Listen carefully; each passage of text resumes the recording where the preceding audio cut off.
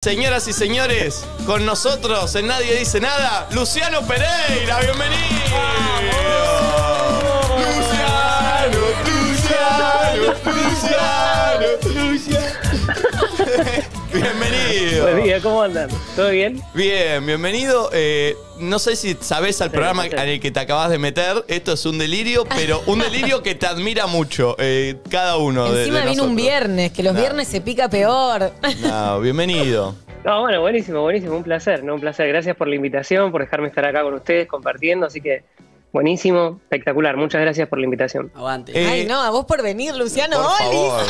hay, que, hay que decir, hay que decir que desde ya cuando, cuando vemos que está presentando el show en Luna Park y, y él tiene, mira, el día 21, 22, 23, 29, 30 y 31 y se agregan nuevas funciones, el 5, el 6, el 7, el 11, el 12 y el 13. Para un poco. Es el- estamos hablando Wow. del Luna Park, ¿entendés? Wow. Nah, Eh, Yo ayer decía, uno de los artistas más convocantes de Argentina, pero ¿ves esto? Es una locura. Una locura. Tremendo. ¿A vos te sigue sorprendiendo cuando escuchás esta cantidad de fechas y que la gente sigue agotando? Eh, eh, ¿Qué te pasa con tantos años de carrera? Lo acabas de nombrar vos y lo decís vos y ya me empieza a temblar la panza, empieza a ¿En temblar serio? el cuerpo, o sea, es- sí, claro, sí, claro. Imagínate que eh, para cualquier artista es algo hermoso subir a un escenario, ¿no? Y estamos hablando de un Luna Park, o sea, subir una vez al Luna Park, pero no es una, ahora se repiten 12 funciones, Es Eh, es un sueño, entonces por lo que uno trabaja tanto en la vida, uno se perfecciona, uno estudia, eh, sigo eh, tomando mis clases de foniatría, de canto, estudiando música, o sea, es fantástico también toda una previa de preparación para que llegue ese día y poder disfrutarlo de, la manera más plena y encima con tanta gente en un lugar de tanta historia, ¿no? Y, y en un momento duro, difícil, eh, social y económicamente aún más, este, uno tiene que estar a la altura del esfuerzo que hace la gente en pagar una entrada para ir a acompañarte. Y eso, eso es un gran, es un gran motivo para, para el encuentro con la música en el Luna Park. Tal cual. Lucho, Nati. perdón. ¿Cómo llegas a la función 13? ¿No llegás más medio como, uh, qué fiaca esto, ya canté? O sea, te da un poco como que ya fue, chicos, ¿te pasa eso? No, no, no, jamás. Pero, A ver, no, no, pasa no después, sino antes. Es como que venís de, de- de un trajín, es un esfuerzo físico importante también, ¿no? Digo, porque estás eh, dos horas arriba del escenario y se repite noche tras noche. Y por ahí llegas un poco cansado o un día no pudiste dormir un poco de siesta, eh, pero llegás al escenario, empezás a cantar la primera canción y es como que te dan un shock de energía Claro. impresionante que viene de vaya a saber dónde, pero principalmente del público. Eh, y es como que no hay cansancio, no hay dolor, no hay, no hay nada, es mágico. Eh, es increíble. O sea, y aparte cada noche es distinta. Porque yo también vivo un concierto paralelo al que se está dando, porque vos te sentás en una butaca y vas a ver a tu artista. Pero yo como artista veo a mi artista, que es el público. Entonces, Claro. de repente pasan un montón de situaciones en el concierto, ¿no? Gente que va sola, gente que va acompañada, gente que va con su familia, gente que le conozco las caras ya hace más de 20 años. No, qué locura eso, qué locura. Eso es una locura. Eso, es fantástico. Sabés que eh, acá cada uno cuando, cuando empezamos a, a- a- decíamos, bueno, por ahí viene Luciano, nos empezamos como a decir, uy, qué, qué, qué golazo que sería. Cada uno va. empezó. A mí me pasa que yo he mirado mucho los recitales que hiciste en el Colón, eh, pero verte cantar en vivo así, de esa forma. Eh, me volvía loco verte como cómo lo disfrutabas, ¿viste? Y, y hay uno que, hasta mira, te vas a acordar de lo que te digo, seguro. Hay uno que no sé si tenías un problema con el, con el auricular o qué, pero se te veía como que te lo sacaba y te lo ponías. Y yo digo, mirá, mi- ¿Cómo así? eh, eh, claro, ¿viste? Y, y a la vez cantando y, la- y una voz de la puta madre. Y digo, ¿qué, qué, qué debe estar Muchas gracias. flaco en ese momento, ¿viste? O sea, no, sé, ¿hay, un- ¿hay un momento que sos más vos que ahí en ese momento cantando en el escenario?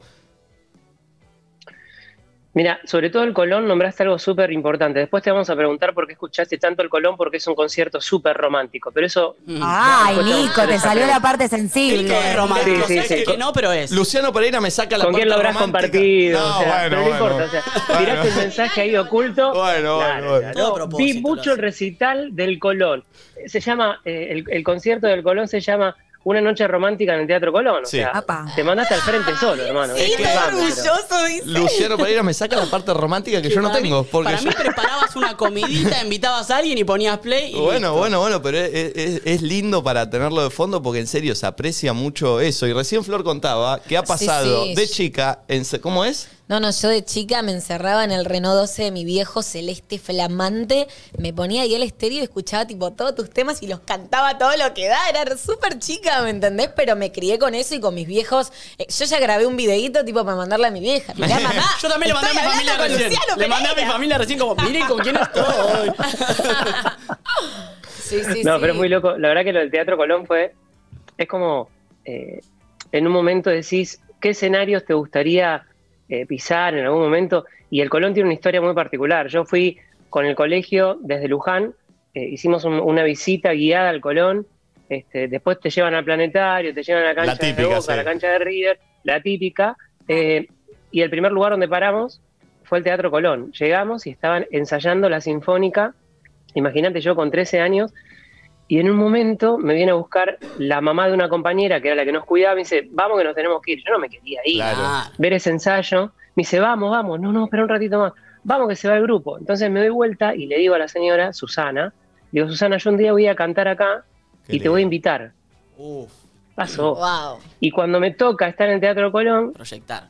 le digo a mi amiga, a su hija, le digo, che, vos sabés que voy a tocar en el teatro, quiero que le invites a tu mamá, llévala, media de sorpresa, no sé, decirle que la llevas al Gran Rex a ver alguna obra o algo.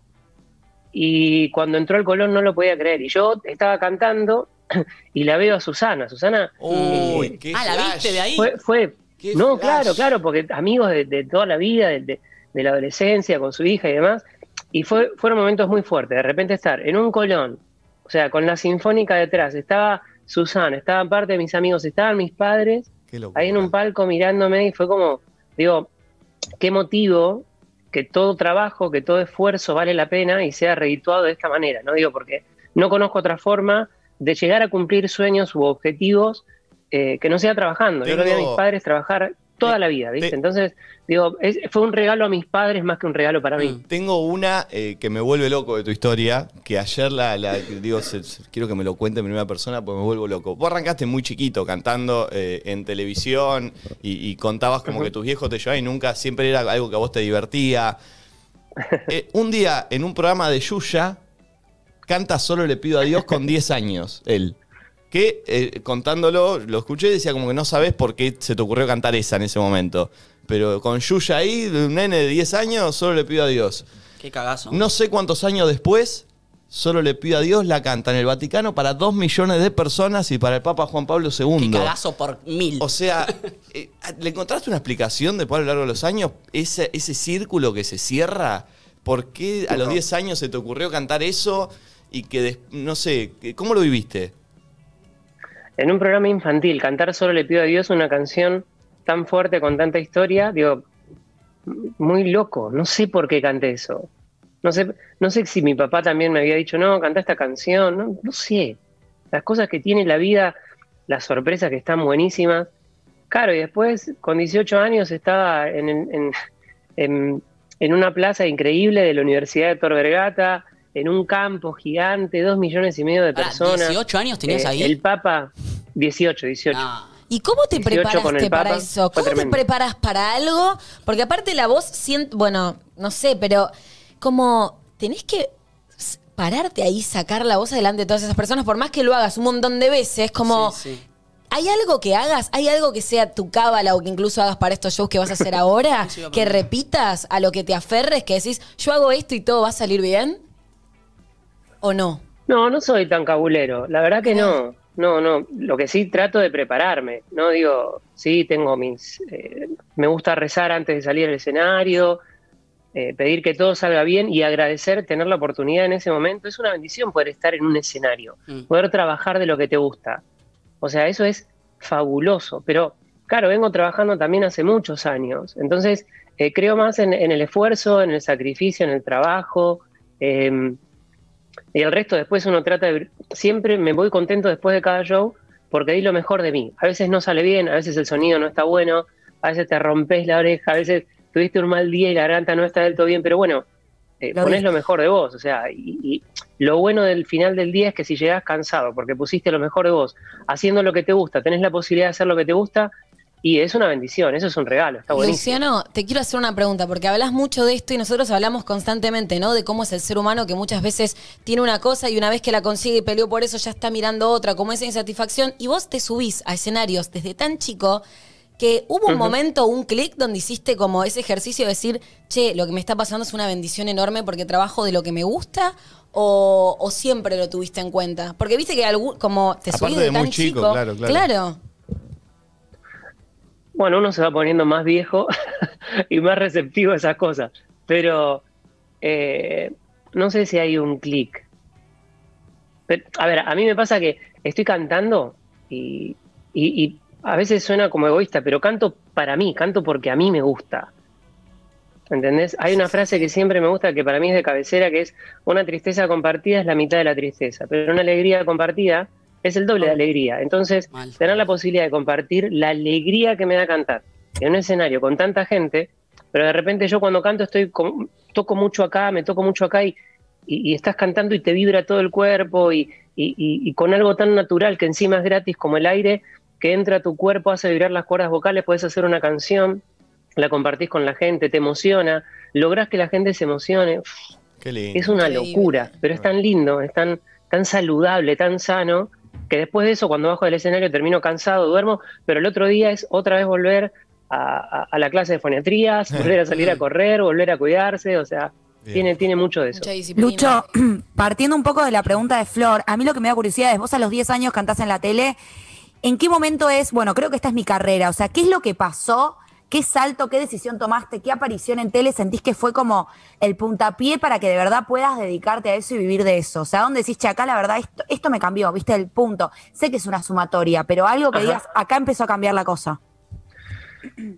Creo que con el primer disco, llegar a ser un primer disco, desde eh, que me escucha Horacio Guaraní en una de las peñas oficiales en Cosquín, eh, y ahí Horacio con su bombisto, Palito Acuña, que fue el que en realidad se acordó de mí, porque Horacio se hizo amigo de mi viejo, mi viejo le dio una tarjeta para pintarle la casa, mi papá pinta Mirá casa. vos. Entonces, Horacio Guaraní se hizo amigo de mi papá en Luján, este, y, y lo, lo mío quedó como ahí, pero Horacio estaba grabando una vez un disco y un productor le dice, no, estoy buscando a gente joven que cante folclore, y ahí el bombisto de Horacio dice, no, yo me acuerdo de un pibe de Luján que canta, pero yo nunca, yo desde chico siempre supe que quería hacer esto. Yo empecé a jugar al fútbol a los nueve años, pero la Win- guitarra empecé Win a tocarla a los cuatro años. Win izquierdo, Win ¿no? izquierdo, exactamente.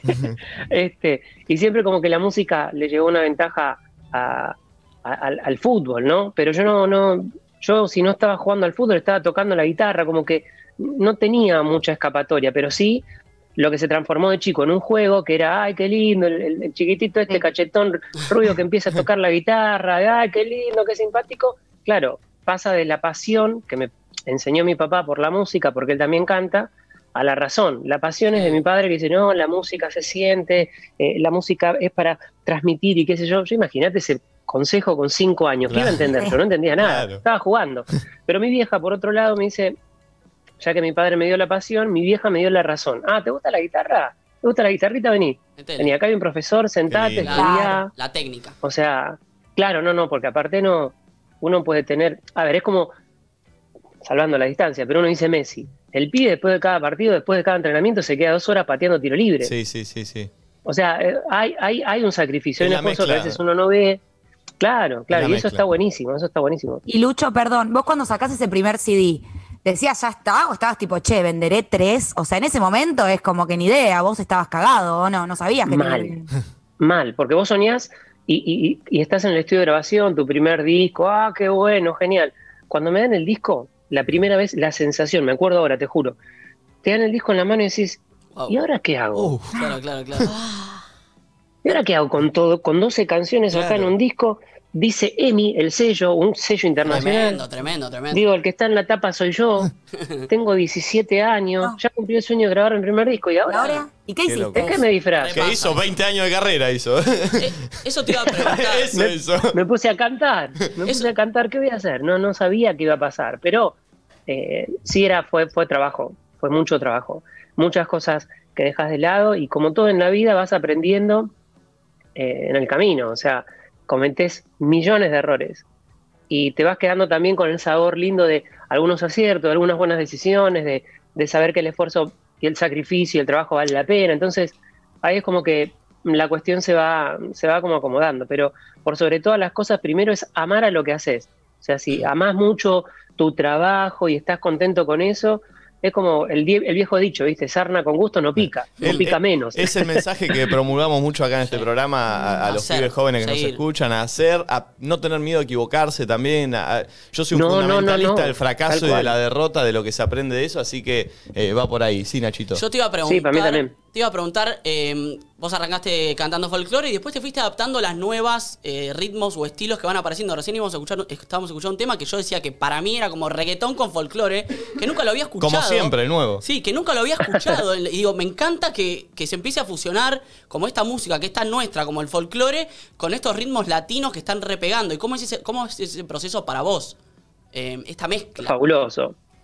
Está buenísimo, porque se trata de crecer. Es como si vos estás en este programa fabuloso, espectacular, y te dicen, no, bueno, che, ¿no te gustaría hacer un programa de eh, trap y, y- y mostrar trap? Y vas a decir, no, no, pues yo me quedo en este programa. Y vas, no, bueno, uno también tiene la posibilidad de Ser crecer, de aprender, de trabajar con otra gente. O sea, y para mí es fabuloso.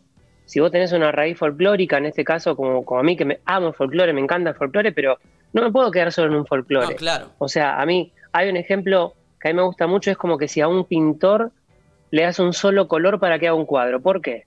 Si hay miles de colores, la música es lo mismo.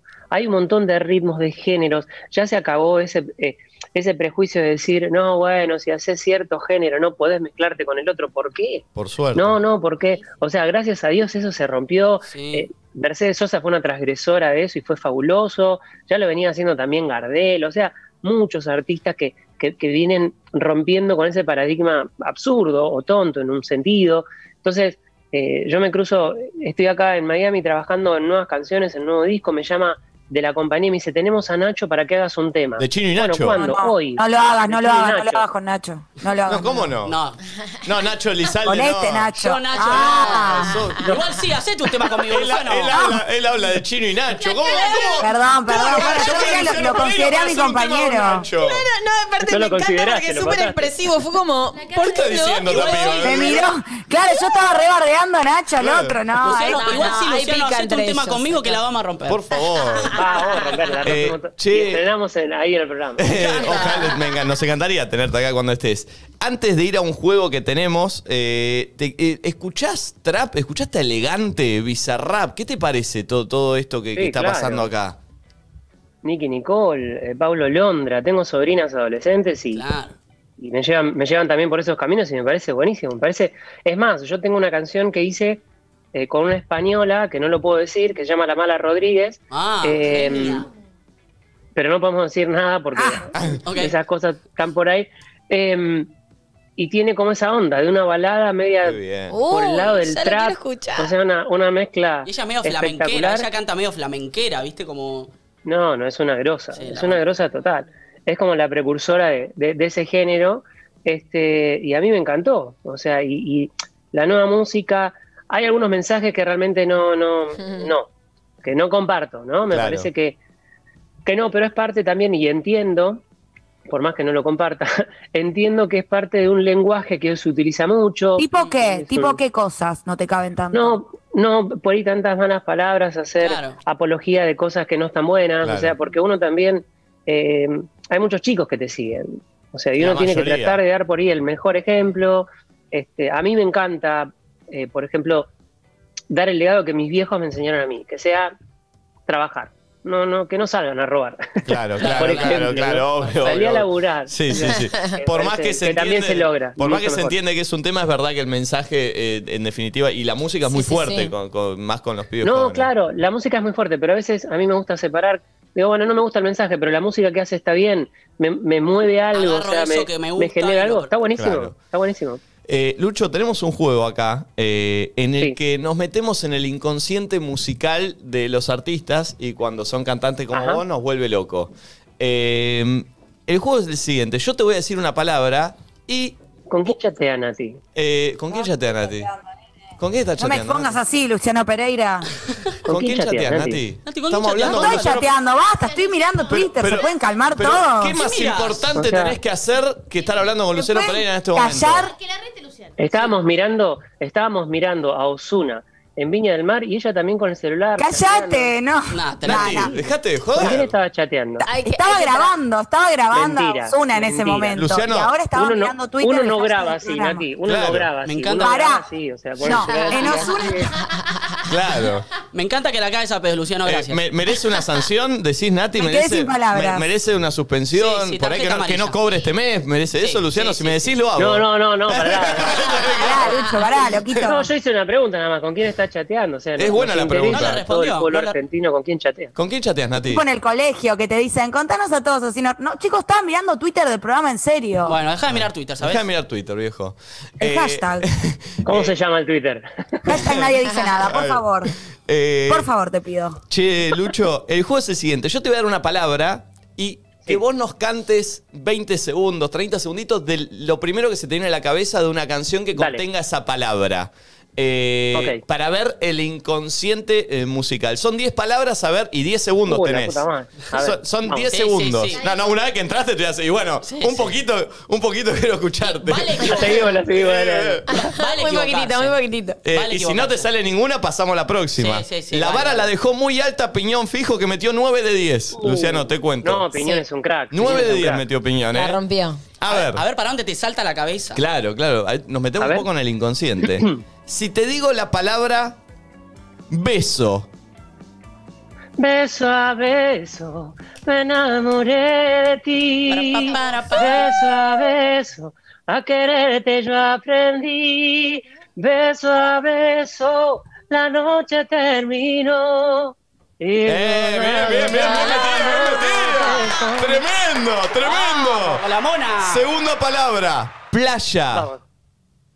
No culpes a la noche, no culpes a la playa, no culpes a la luna. ¿Será que no me ama? ¡Eh! No sé qué está pasando.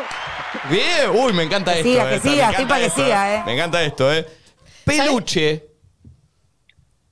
Un osito de peluche de Taiwán, una cáscara de nuez en el mar, una... delicioso como el dulce de leche. Eh. No me acuerdo, ¿Sabés qué auténtico. ¿Qué? Que si Luciano está ponele en una cita y se manda una cagada, canta cualquier Claro. canción y la arregló, ¿me Dale. entendés? Cambia la vibe del lugar. Se me cayó el agua arriba de la mesa. Sí, sí, sí. Perdón. Claro. Perdóname. Te lo perdono, te Le lo mandaste un comentario desubicado, le hablaste de su papá y su papá había fallecido hace dos días, ¡pum! Te cantás un temor y remontó, ¿entendés? Perdóname, fui yo. El tipo, el tipo cantaba en los, el tipo Claro. cantaba en los velorios. Claro. Si digo, y acá, acá te voy a hacer un poquito de trampa, pero es porque soy fanático. Si te digo Luján. Uh. Eh, hay dos que pueden ser. Sí, yo quiero la Pero tuya. puede ser movida, la movida, ¿no? Sí. Yo quiero la tuya. Ya le pegué a la Virgen de Luján y ahora que te veo en este lugar, entiendo que contigo, cosita preciosa, tendría cien hijos y que sean como tú, con esos ojos que enamoran, con esa risa encantadora, tus manos, tu pelo, tu cara bonita y que sean como tú, porque como tú no hay otra. Por un beso de tu boca, te juro, sin duda, daría mi vida. Oh, oh, oh. Tremendo. Oh, no, no, no, no. Esto, esto lo voy ¿Puedo a decir subir. algo? O esto lo sea, voy a si hasta subir. acá, si hasta acá no estabas enamorada de Luciano Pereira, ca- te enamorás. No, boludo. no, Yo no, me no, enamoré. no, Encima no. sentado tranquilo No, no, ahí en no. el living. Me como, vuelvo loco, "Pará me vuelvo un loco. poco". Eh, ¡Para un poco, loquito, para! próxima palabra. Amor. Sí. Amor. Vamos a dedicársela a Nati, Upa. que está enamorada, chateando ahí por Sí. Twitter. De vos, Amor. amor. A ver. Una de amor. Amor como el viento. Se fue poniendo negro, amor. Ya no quiero. Taranar un corazón sincero. Dar ese el momento. Y ahora me arrepiento. He vuelto a su despertar lo que nunca supe dar. Eh, No, me no, acuerdo, pero, pero pero le queda bien hasta el taraneo. Ay, sí. Le queda bien hasta el taraneo. queda bien confundirse, Yo no lo puedo creer. Taraneo yo y me, me- me pegan en la cabeza. Bueno, bueno. Eh, si te digo sol. Eh, y hasta que me falta el sol, no sé, y ahora que me falta el sol, no sé qué venís buscando, llorando mi amor, llorando. También olvídame vos, qué pena me da saber que al final de ese amor ya no queda nada, solo una pobre canción da vueltas por mi guitarra y hace rato que te extraña mi samba para olvidar. ¡Qué lindo! Amo ese ¡Dios tema. mío! Amo ese tema, lo amo. Tengo la piel de gallina. Te voy a dar las últimas dos. Y acá sí nos vamos. Voy a decir. ¿Se complicó? eh, no, se complicó, no, en realidad. eh, eh, Un ayudín. eh, bueno, no, no, es que quiero escuchar esto. ¿Viene con Ayudín? Enamorando. Ah. Te estás enamorando de mí, ya sabes que estoy loco por ti. Tus ojos te delatan, mi boca ya no aguanta. Los dos sabemos que es así. Te estás enamorando de mí, ya sabes que estoy loco por ti. No esperaré a mañana si hoy tenemos ganas, porque tenemos que mentir. ¡Oh, Dios! Y la última me, me la pidió Flor. La, ay, la, pidió- última la pedí yo, Luciano, porque amo este tema tuyo. ¿Ese Es- que escuchabas en el Renault 12 de tu papá? Sí, sin testigos. No. Amo esa canción. La No, amo. Es que sabes que yo soy, yo soy muy curioso porque también me, me gusta saber qué historia hay en, en las personas que escuchan las canciones detrás Mm. De, de cada canción, qué historia también guarda. ¿no? Claro, ¿en Y qué a, a mí me ha pasado de, de estar poniendo un concierto y decir, eh, gracias a vos conocí al amor de mi vida, gracias a vos Uf. me separé. Otro te dice, gracias a vos logré el divorcio. No sé. Claro. No, un montón de cosas, de historias que son re- impresionantes, están buenísimas. no, sin testigos, aparte tiene un videoclip fuertísimo. ¿Estuviste con la hermana, Luciano? A mí eso no me pasó, pero el tema lo amo, me encanta. El, el- el videoclip es tremendo, ¿me entendés? Eh, cualquier semejanza con la realidad. claro, claro, claro, está muy bien. Dios. Eh, bueno, tirar una palabra del tema, para, porque es así el juego. Tirar una palabra. Testigos. Testigos, a ver, ¿qué puede ser? A ver, Eh, pensando. Ay, no sé. Quiero que sea esta noche solo un recuerdo. Quiero arrancarte por siempre de mi corazón, porque nos une un destino equivocado, que por desear lo imposible nos llenará de dolor. Aléjate, olvídame, será mejor. Qué alto lo agarré, perdón. Eh, Quiero borrar tu recuerdo antes que salga el sol. Muere esta noche el deseo y si no guardo el secreto, voy a pagar con mi vida por esta traición. No, no, no, no, no, no, no, no. Señoras y señores. No, eh, listo, ya igual para, para, para. ¿Puedo decir que le regalamos todo el juego? Tipo, No. todas le tiraron las palabras. O sea, No, dale, nos lo todo bien, que autorre- somos todos no. fan. Nos lo regalamos No, a lo- A nosotros. ver, claro. desafiando. Tira una palabra vos, Nati. ¡Oh! Me gustó. Me gustó. se picó. Me gustó. Eh, Mirá que te tiene una sillón. chiquitita. No, sillón. ¿Sillón? Uy, Ok. ¿lo liquidó? Uy. Ya junté la ropa que tanto pedía. Ahí tenés. Saqué de la ya, saqué de la cama y dejé en el sillón. Tomá. ¿Ya la sabés? Me cagó. Y no es muy tarde para darte todo lo que no sabía. Si no es muy tarde para remediar las cosas que hice mal. Para vos, Nati. Para vos, Nati. Ahí tenés. Eh. Mirá del sillón. Tira otra, tirale otra si querés, Nati. Tirale otra. Ok, estoy pensando. A ver. Vino, vino. Uh, Vino. Eh, ya eres parte de mis sentidos, por el cielo si estoy contigo. En tus brazos por fin hallé mi nido, que me cubre de las tormentas, que me abriga cuando hace frío. El refugio de este gorrión herido, la más tierna de mis canciones, corazón de mis latidos, en tu boca el dulzor de nuestro vino.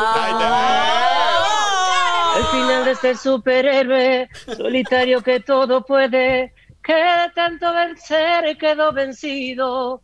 Qué privilegio, amor, Nati, que nos hayamos elegido. No lo puedo creer, no lo puedo creer. Eh, Lucho, eh, posta, gracias, Gracias. millones de gracias. Vamos a recordar, perdón, Luna Park ya va a estar el 21, 22, 23, 29, 30 y 31 de octubre, pero ahora se agregaron, por localidades agotadas, Increíble. el 5, 6, 7, 11, 12 y 13 de noviembre, en el que vamos a estar seguro. Eh. Ay, no sé a quién le sí. tengo que manguear, Los espero, los pero, espero. pero quiero estar ahí. Eh, ¿Por dónde sacan las entradas, eh, Lucho? Ahí está. Las entradas se sacan por ticket portal. Ah, espectacular, espectacular. Pará, tirame. seguía cantando, seguía ¿Sabés lo que me sirve? ¿Sabés lo que me sirve? Que me cantes un Nadie dice nada de 10 a 1 por Luzu TV. Nos sirve como, bueno. Ok, pe- Sí, ya que Pobre, Nico. Bueno, bueno, pará, pará, pará. Lo vamos a aprovechar, ya lo Bueno. tenemos acá. Bueno, a ver, a ver, a ver. vamos.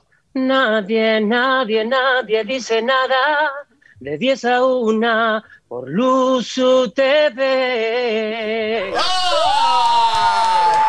Muchas, muchas gracias, en serio, Lucho. Espero que cuando Un vuelvas placer, acá placer. cruzarnos en una cancha. No sé, yo estoy jugando con los gauchos, sé que alguna vez habrás estado. Eh, Sí, claro. Está bien ahí, ¿eh? un win izquierdo, yo soy un enganche, por ahí te puedo llegar a asistir. Eh, me encantaría compartir una cancha. Yo últimamente estoy jugando de 11 a 11 y cuarto. Bien, ya estoy. Eh, ya que estoy roto, pero, sí, será un placer cruzarnos ahí en la cancha, en el verde césped, eso siempre es salud.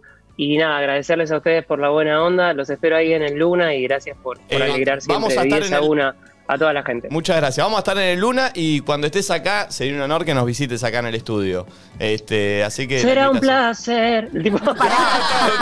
Un musical. Eh, Lucho, en serio, eh, abrazo enorme. eh, un placer para nosotros haber hablado con vos y la onda que le pusiste. Sos un crack. El placer es mío, cuídense mucho, cuídense y nos vemos pronto, si Dios Bien. quiere. Cuídense. Muchas gracias. Luciano Pereira, nadie dice nada, che.